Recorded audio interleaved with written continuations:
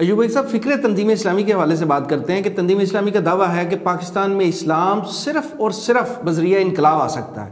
آپ جو ہے، بذریعہ بیلٹ جو ہے، وہ اس جدوجہد کو جو ہے، وہ لا حاصل سمجھتے ہیں کہ مطلب اس کے ذریعے پاکستان میں نفاذ اسلام نہیں ہو سکتا۔ آپ آخر اس انداز میں کیوں سوچتے ہیں؟ وسیم صاحب، بات یہ ہے کہ ایک عرصہ گزرا ہم اس حوالے سے دلائل دیا کرتے تھے۔ کہ کبھی انتخابات کے ذریعے اسلام نہیں آ سکتا، اس کے لیے انقلاب کی ضرورت ہے۔ میں یہ سمجھتا ہوں، آج میں یہ سمجھتا ہوں کہ اس کے لیے دلائل دینے کی ضرورت ہی نہیں ہے۔ پاکستان کی تاریخ خود اس بات کی گواہ ہے۔ یعنی دلیل کی ضرورت ہی نہیں ہے، پاکستان کی تاریخ خود گواہ بن گئی ہے کہ پاکستان میں اسلام جو ہے وہ انتخابات کے ذریعے نہیں آ سکتا۔ آپ دیکھیں کہ انیس سو ستر میں پاکستان میں پہلے الیکشن ہوئے اور یہ انیس، یہ دو ہزار آٹھ میں یا دو ہزار تیرہ میں جو آخری الیکشن ہوئے، اس دوران تقریباً کوئی نو یا دس انتخابات ہوئے، لیکن اس میں کیا پوزیشن رہی اسلامی جماعتوں کی؟ بات بالکل واضح ہے کہ وہ اول تو وہ کامیاب ہو ہی نہیں سکتے تھے، ایک ایسا ملک جس میں جاگیرداری نظام ہو، ایک ایسا ملک جس میں کئی فرقے ہوں۔ اسلام کے حوالے سے وہاں اسلامی جماعتیں کیسے کامیاب ہو سکتی ہیں؟ اور پھر سب سے آخری بات یہ ہے کہ جو آخری انہوں نے کوشش کی ایم ایم اے کے حوالے سے یعنی سب جماعتوں نے متحد ہو کر، تو پھر بھی کیا ہوا؟ زیادہ سے زیادہ خیبر پختونخوا میں انہوں نے حکومت بنا لی، بلوچستان میں حصہ تقسیم حصہ وصول کر لیا، کچھ مرکز میں بن گئی۔ گویا میں کہنا تو یہ چاہتا ہوں کہ اولن تو اسلامی جماعتیں کامیاب ہی نہیں ہو سکتی۔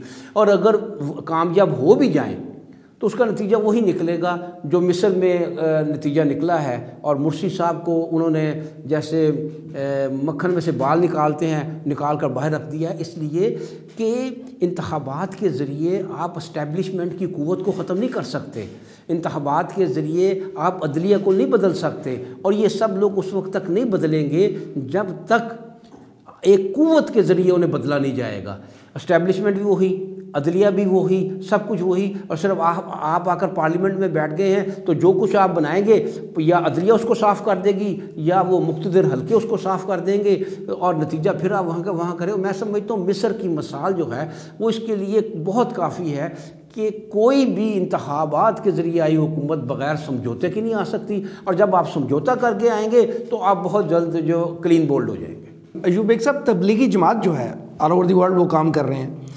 امر بالمعروف پہ وہ بہت زور دیتے ہیں۔ ان کا خیال ہے کہ تبلیغ کرتے جائیں کرتے جائیں، جب اکثریت نیک ہو جائے گی تو سال معاشرہ وجود میں آ جائے گا اور اسلام خود بہت بغیر کسی رکاوٹ کے جو ہے وہ نافذ ہو جائے گا۔ تو آپ اس اندازے ان کا جو تبلیغ ہے، اس کو کس انداز میں دیکھتے ہیں؟ وسیم صاحب، بات یہ ہے کہ تبلیغی جماعت کے لوگ الحمدللہ اکثریت ان میں سے بہت نیک، بہت اچھے لوگوں کی ہوتی ہے۔ وہ دین کے لیے بڑا اچھا جذبہ رکھتے ہیں۔ اور میں اکثر کہا کرتا ہوں کہ وہ اسلام کی پنیری لگاتے ہیں۔ اور اس کے بعد جو ہے وہ آگے بڑھتا ہے معاملہ۔ یعنی انفرادی اصلاح کی بات کرتے ہیں۔ اصلاح کے والے سے وہ لوگوں کو برائی سے کھینچ کر نیکی کی طرف لاتے ہیں مسجد کی وہ سنموں یوں کہہ لیجیے کہ سنموں سے کھینچ کر لوگوں کو مسجد کی طرف لاتے ہیں۔ یہ ایک بہت نیک کام ہے۔ لیکن جہاں تک تبدیلی کا تعلق ہے بصیت مجموعی تبدیلی کا کسی معاشرے کی تبدیلی کا اور کسی نظام کی تبدیلی کا تو سب سے پہلے تو میں آپ کو یہ بتایا دیتا ہوں کہ ہر چیز کی کوئی تاریخ ہوتی ہے۔ انسانی تاریخ میں ایسا کوئی واقعہ نہیں ہے کہ کوئی انقلاب، ایسا انقلاب جس نے نظام کو بدل دیا ہو، وہ کسی محض واز واز اور نصیحت سے آگے ہو۔ یہ ممکن ہی نہیں ہے۔ دیکھیے حضرت نو علیہ السلام نے ساڑھے نو سو سال تبلیغ کی۔ تمام پیغمبروں نے تبلیغ کا کام کیا، لیکن یہ ہے کہ کوئی باقاعدہ نظام کسی تبلیغ سے نہیں بدلا۔ نبی اکرم صلی اللہ علیہ وسلم بھی مکہ میں تبلیغ کرتے رہے۔ وہاں ہاتھ اٹھانے کی اجازت نہیں تھی اور دین کی دعوت دیتے رہے۔ انقلاب نہیں آیا۔ انقلاب کب آیا؟ جب ہجرت کے بعد کفار سے باقاعدہ مقابلہ ہوا۔ قرائش سے باقاعدہ مقابلہ ہوا تب۔ لیکن یہ یہ بھی بات اپنی جگہ ہے کہ تبلیغ کا کام دین کی دعوت کا کام یہ بنیادی کام ہے۔ اس سے انحراف نہیں کیا جا سکتا صاحب جب تبلیغی بھائیوں سے بات ہوتی ہے تو وہ کہتے ہیں کہ ہم مکی دور والا کام کر رہے ہیں ابھی۔ یہ اس کا تو جواب پھر بڑا سادہ سا ہے کہ وہ مکی دور کب تک رہے گا کیا بتا کب تک رہے گا وہ وہ؟ کب تک رہے گا؟ اس لیے کہ آپ دیکھتے ہیں کہ ان کے اجتماعات میں لاکھوں انسان ہوتے ہیں لاکھوں۔ میں پھر آپ کی سوال کے جواب میں عرض کیے دیتا ہوں اب مجھے آپ لا رہے ہیں اس طرف کہ میں ان پر تنقید کروں۔ نہیں تنقید والی بات نہیں ہے ریالٹی بیان کیجیے ہاں، تو میں عرض کروں گا اگر وہ پچاس لاکھ یا پچیس لاکھ جو بھی ان کا دعویٰ ہوتا ہے یا پندرہ لاکھ کا مجمع جو وہاں اکٹھا ہوتا ہے وہ ان میں سے اگر دو لاکھ شہر کا رخ کر لے اور یہ کہہ دے کہ ہم سود نہیں چلنے دیں گے۔ ہم فحاشی نہیں چلنے دیں گے۔ تو آپ بتائیے مجھے کیا دو چار پانچ لاکھ لوگوں کو حکومت روک سکتی ہے؟ آج لوگوں سے چند ہزار لوگ نہیں سنبھالے جا رہے حکومت سے۔ اگر وہ یہ طے کر لے کہ یہ ہم کام نہیں ہونے دیں گے اور یعنی منکر کو روکنے کے لیے میدان میں اگر نہیں امر بالمعروف تو وہ کر رہے ہیں۔ نہیں انل منکر ابھی ان کی پریورٹیز میں شامل ہی نہیں۔ ہے۔ اور جب تک وہ نہیں ہوگا دیکھیے آپ کہتے ہیں نا نہیں یہ پلاننگ کا حصہ نہیں ہو سکتا کہ یہ ایک فیز ہے جس میں ہم نے امر بالمعروف کرنا ہے۔ نہیں انل منکر ابھی نہیں کرنا۔ تو یہ ان کی پلاننگ بھی تو لیکن اگر لاکھوں کی تعداد میں بھی ہو کر نہیں ہو سکتا تو پھر کب ہوگا؟ اور کیسے ہوگا؟ اس کا مطلب یہ ہوا کہ یہ ان کی یہ ان کی ترجیح ہی میں نہیں ہے یہ ان کی لسٹ میں شامل ہی نہیں ہے اقامت دین کا۔ یعنی آپ کے خیال میں اقامت دین ان کا ڈکلیئرڈ گول ہی نہیں ہے؟ گول ہی نہیں ہے۔ اس یہ وہ ایک یہ سمجھتے ہیں کہ یہ کام خود بخود ہو جائے گا۔ ہم سمجھتے ہیں یہ کام خود بخود نہیں ہوتا۔ دیکھیے پھر سب سے بڑی بات اور میں سمجھتا ہوں اس بات کو حتمی سمجھ لیجیے۔ اس بات کو جیسے کہتے ہیں نا کہ آخری بات سمجھ لیجیے کہ اگر واض و نصیحت سے ہونا ہوتا، اگر خون بہائے بغیر ہونا ہوتا، تو نبی اکرم صلی اللہ علیہ وسلم سے اچھا کوئی وائز ہو سکتا ہے؟ آپ سے اچھا کوئی نصیحت کرنے والا ہو سکتا ہے؟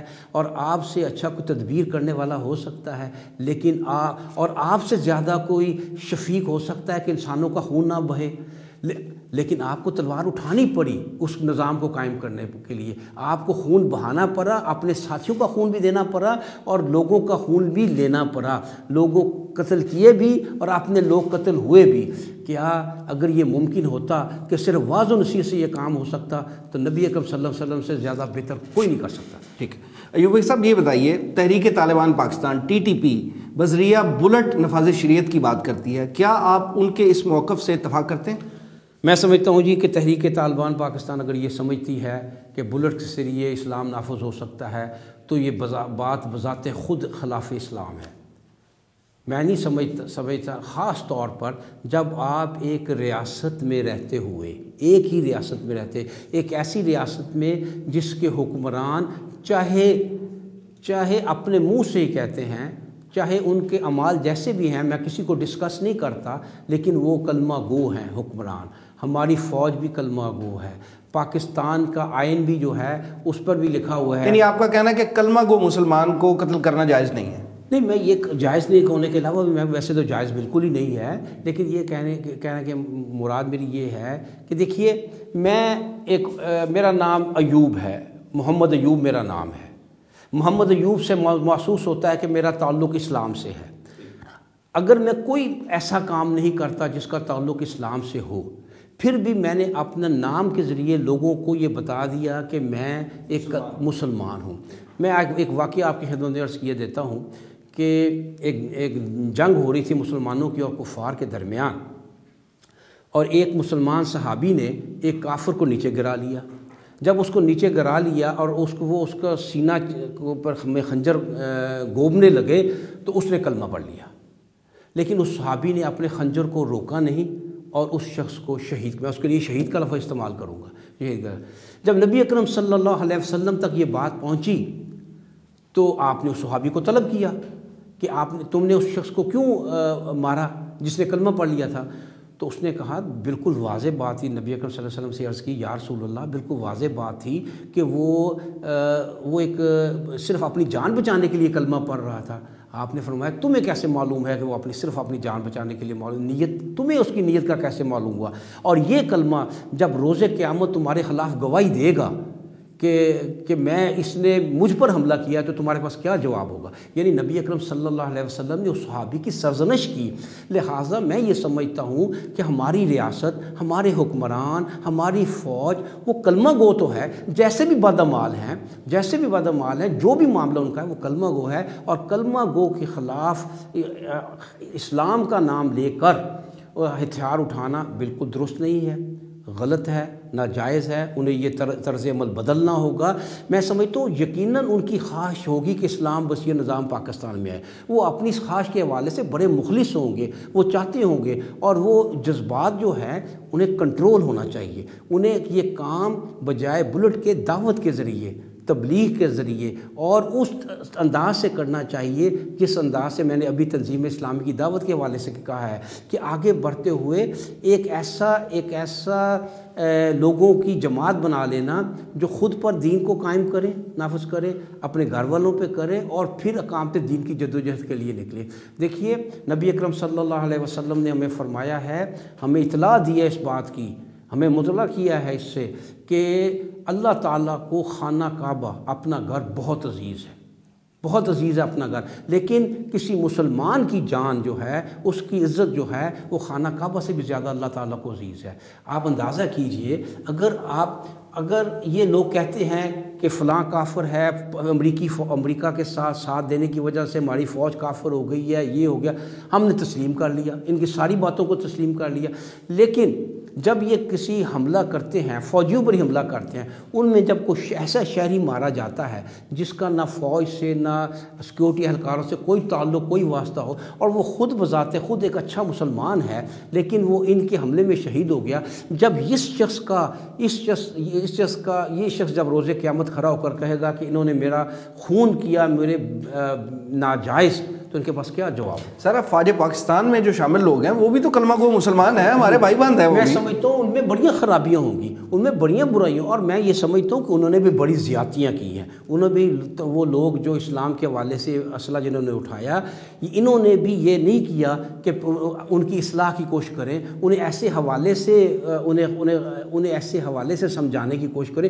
انہوں نے بھی اتھیار کو بارود کو بغیر کسی بغیر کسی تعمل کے اور بغیر کسی یہ رکاوٹ کے استعمال کیا اور اندھا دھند ان لوگوں کو مارا۔ یقیناً یہ لوگ انتقام میں بھی ایسا کر رہے ہیں۔ یہ انتقامی جذبے کے تحت ایسا کر رہے ہیں۔ لیکن یہاں یہ ایک بات واضح کر دوں کہ تحریک طالبان کے تمام گروپس ایسے نہیں ہیں۔